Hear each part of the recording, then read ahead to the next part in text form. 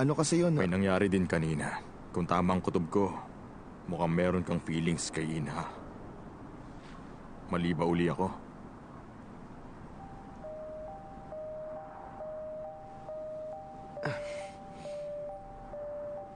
Eh si Ina, Wala. Si Ina, hindi. Hindi niya alam na may feelings ako. kailan pa nagsimula yan? Hindi ako sigurado eh. Basta ang alam ko, matagal na.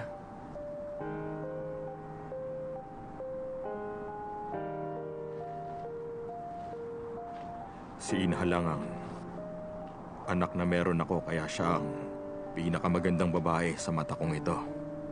Kaya ayokong nasasaktan siya gusto kong masaya ang buhay niya dahil naaalagaan siya ng mabuti. Sige. Kaya kapag may nanliligaw kay Inha, hindi ako natutuwa. Tulad ng ibang mga ama. Kahit mas okay pa kay Yimong Ryong, kailangan ko pa rin siyang kilatisin. Magkaiba kayo. At Marami akong kulang.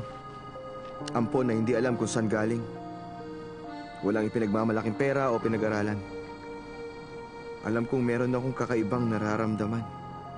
Kaya kailanman, hindi ako naging sakim sa kahit na sino. At hindi hindi ako magiging ganon.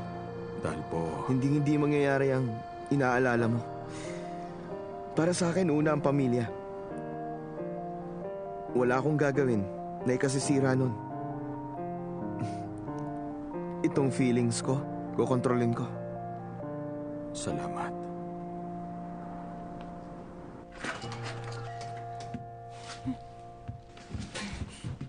Ba't iniwan niyo yung may kasalanan at si Uncle ang kinausap niyo? Tapusin mo nga muna yung pagtutoothbrush mo. Hindi. Mag-usap tayo. Papa, dapat Si Inha lang ang anak na meron ako, kaya siya ang pinakamagandang babae sa mata kong ito. Matatagumpay ako. Parang pinungungunahan mong iniisip ng iba eh.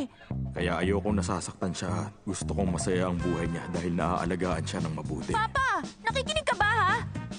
Naririnig mo ba ako? Papa, gusto ko respetuhin mo ang determinasyon ko.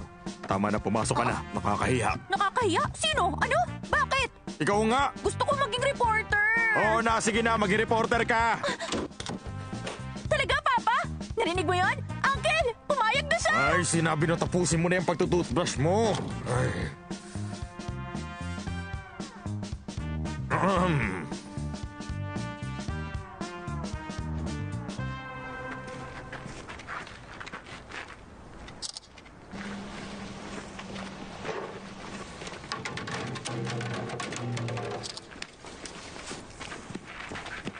Hoy, sa tingin ko dapat atong palitan.